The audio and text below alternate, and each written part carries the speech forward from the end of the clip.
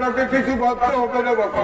আপনি পন্ডিতেই থাকুন আর এই মাদ্রাতেই থাকুন আমি যতক্ষণ আছি আপনার স্বার্থকে ততটুকু পূর্ণ হবে না। সে আমি জানি বিনোদ এবং জানি বলেই তোমাকে আমি টাকা পয়সা দিয়ে সাহায্য করছি। তবে সাতপুরি বলছিল ইদানিং রেল পুলিশ নাকি বড্ড মারামারি হয়েছে। পুলিশ?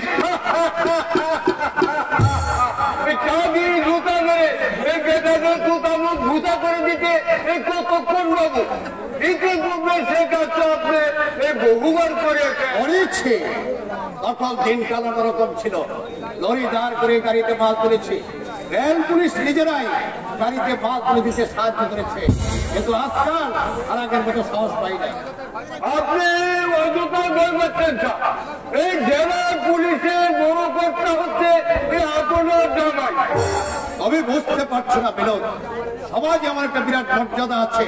লড়াই ধরা পড়লে শুধু মান মর্যাদায় পূর্ণ হবে না কল্যাণের মাথাটা হেট হয়ে যাবে।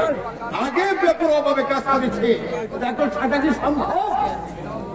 বিনোদ, মাকে তুমি বিড়ি দাম দাওনি কেন? তোমরা কি তুমি কি জানো না?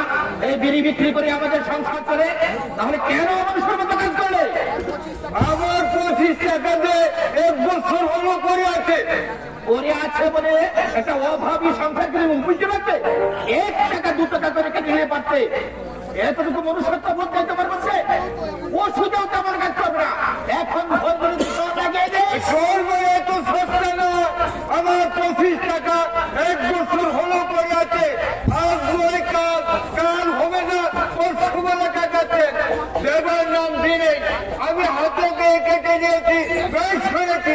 আপনার যা খুশি তা করতে পারেন তুমি কিন্তু কথা বলার ছবি না গান গান না খাই গান খেয়ে গান শোধ করতে পারে না তাদের আবার বড় বড় কথা। এই দাড়ি মুখটা রাত্রি দশটার সময় এসে এই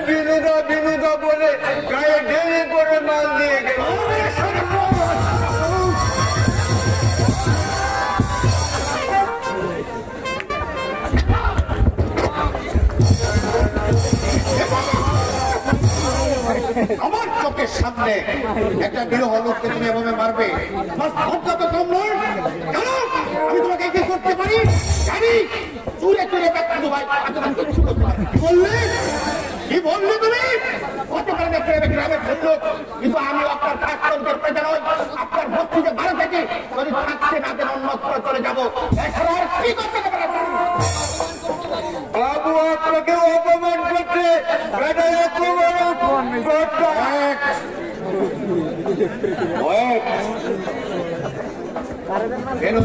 কত টাকা পাবে তুমি? পুরো পাবে না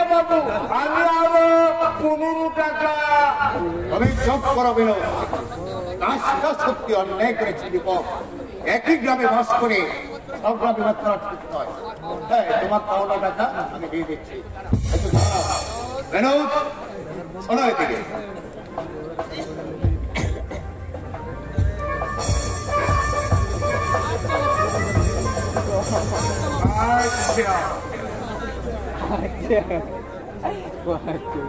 কোথায় পাঠানো বলতে? আসছে।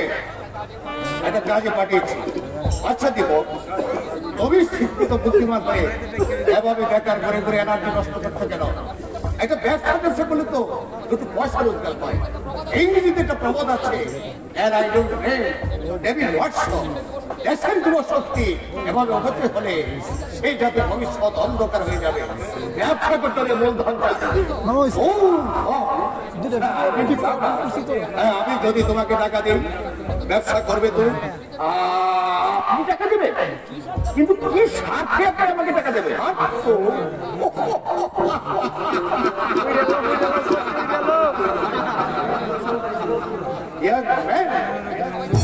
পৃথিবীতে সবাই কিন্তু স্বার্থের দাম। তাছাড়া তোমার বাবা আমার বন্ধু ছিলেন। আমি ভেবেছিলাম তোমার বাবাই হয়তো আমার কাছে সাহায্য জন্য আসবেন, কিন্তু এলো না। বাবা আপনার বন্ধু ছিলেন? কিন্তু কই? বাবা তো কোনদিন আমাদের এসব কথা বলেননি? বলবে না।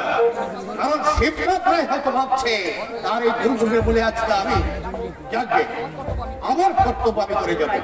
লোকে যা খুশি বলে বলো তাতে আমার কিচ্ছু যায় আসে না। হ্যাঁ।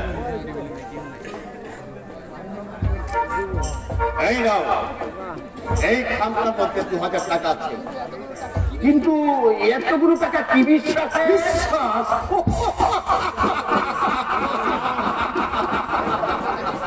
কথা কি জানো তোমরা আমাকে যত নিকৃষ্ট ভাবো, আমি ততটা নিকৃষ্ট নই। মানুষকে বিশেষ করে তরুণ সমাজের উপর আস্থা। তুমি তো জাতির ভবিষ্যৎ।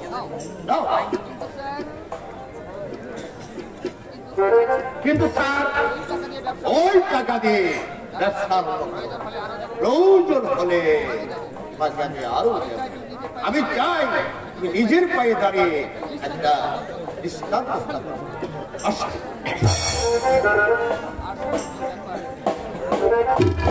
আশ্চর্য ব্যাপার।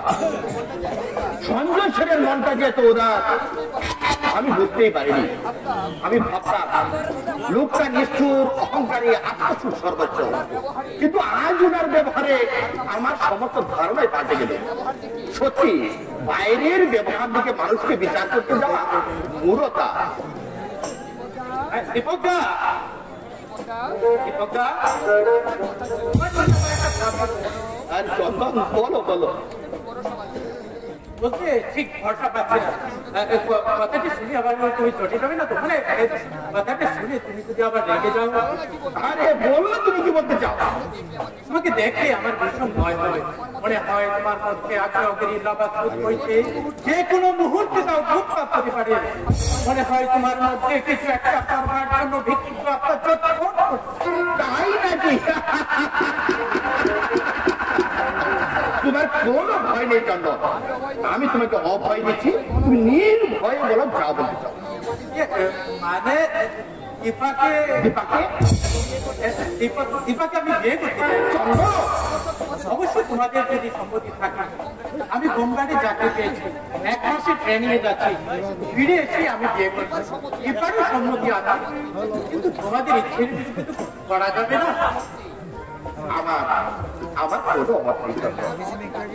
কিন্তু তোমার বাবা কি রাজি হবে আত্মরি বাবু আবার অমতে আমি বিয়ে করব। এখানে গো দীপাকে নিয়ে আমি চলে যাব। হ্যাঁ, বাবা যদি সম্মতি নাও দেয় বিয়ে আমরা কিন্তু ভাই কোনো দাবি দাওয়া পূরণ করতে পারব না। কোনো দাবি নেই আমার। তোমরা শুধু শাখা শুধু দিয়ে বিয়েটা পড়িয়ে দেবে। আমি আসছি নটা ছত্রিশে আমার ট্রেন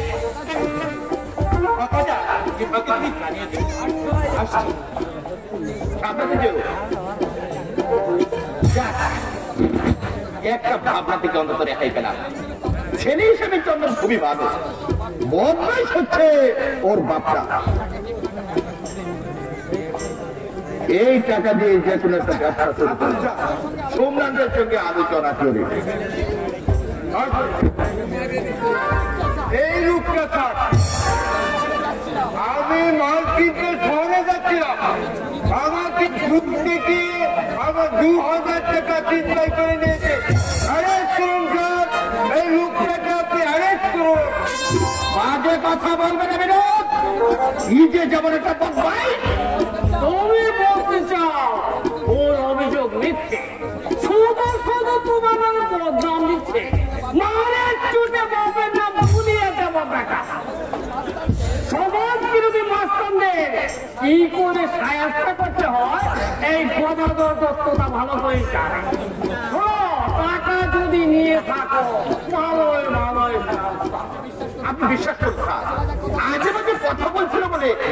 মেরেছে ঠিকই, কিন্তু ওর টাকা পয়সা আমি তোমাকে সার্চ করব।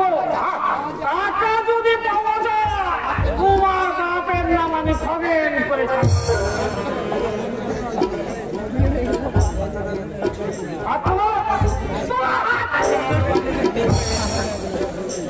কি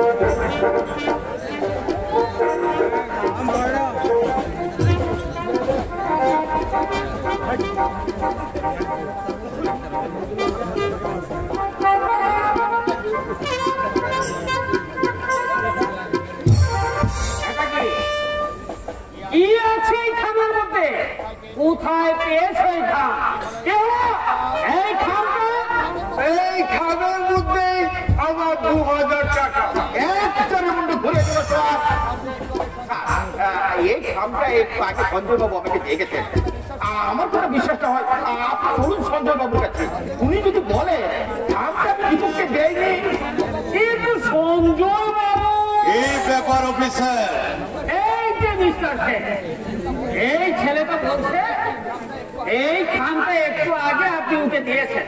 সত্যি কি আপনি দিয়েছেন এই খানটা হ্যাঁ আমি দিয়েছি। তুমি কি যা যা টাকা টেনে এসেছ, ছোকরা? আমি কেন খাম দিতে যাব? তাছাড়া ওর সঙ্গে কোনো পেলে কি আছে খামটার মধ্যে? আমার দু হাজার টাকা চিন্তাই করে নিয়েছে। আমি মালামকে শহরে যাচ্ছিলাম আমাকে চুরি দেখিয়ে আপনি তাহলে খানটা উঠে দেননি। অফিসার। টাকা কি আমাকে কামড়াচ্ছে? যে যাকে তাকে আমি টাকা দিতে যাব? হাতে নাতে ধরা পড়ে। সবাই আসলে এরা হচ্ছে উক্তি মস্তা অটুর হস্তে দমন করতে না পারলে সমাজের দিন ধ্বংস হয়ে যাবে অফিসার? সঞ্জয় বাবু কাইন্ডলি একটু শুনুন কি শুনবে? শুনুন বলো কি বলবে? বলছি।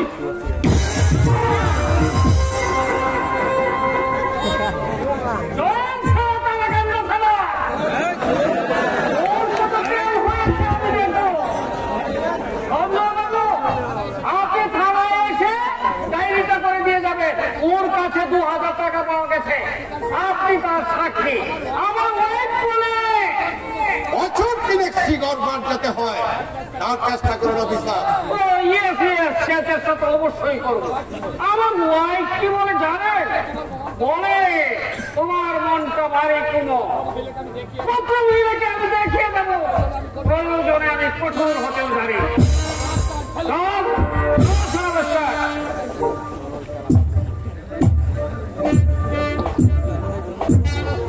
যাচ্ছি। যাচ্ছি সঞ্জয় সেন। থানা পুলিশ যখন তোমাদের হাতে, তখন জেল আমার হবে। কিন্তু কতদিন? কতদিন তুমি আমাকে জেলের অন্ধকার করে আটকে রাখবে? তোমার এই চক্রান্তের জাল ছিন্ন করে একদিন নয় একদিন আমি অন্ধকার থেকে আলোয় বেরিয়ে আসবই।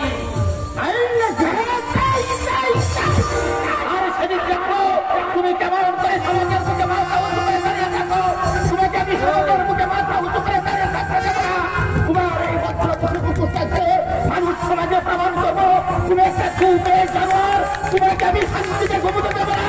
তোমার সুখ শান্তি একটা একটা করে কেড়ে দেবো। আজকের দিনে আমার প্রতিজ্ঞা সত্য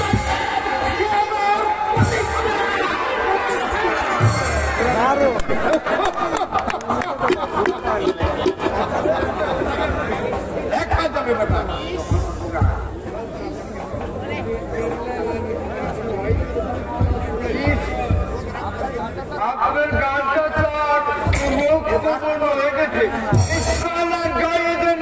মুসকুলের এটাকে ঠিক আমি তিন বছর জেলে টানি টানি আনব। তবেই আমার নাম সঞ্জয় সেন, তারা হচ্ছে সমাজ বিরোধী। কঠোর হস্তকে দমন করতে না পারলে সমাজ একদিন ধ্বংস হয়ে যাবে। এসব লোক থানায় যেতে হবে। এই বুদ্ধিরা বালুর মাত্রা